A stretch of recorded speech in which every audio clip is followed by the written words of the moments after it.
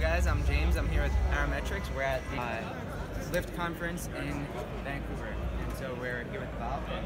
Right now, what I'm going to do for you is I'm going to show off the fraction finder. It's a real-time monitor for the distillation process. And so what we have here is two vials. We have water here, and we have uh, vape juice right here. And so what we're going to do is we're going to put our water in this sensor right here, and that's going to shoot a light and detect the chemical signature of the water itself.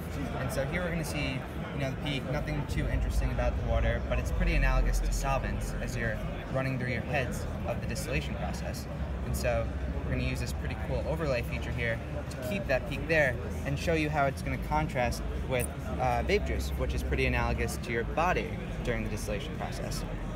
And so what you're going to see is that your vape juice, aka your body, is going to have a much different chemical signature and a much different peak than your water did. And so, based off of this, you're able to detect your transitions from your heads to your main body, and then your transitions from your main body to your tails.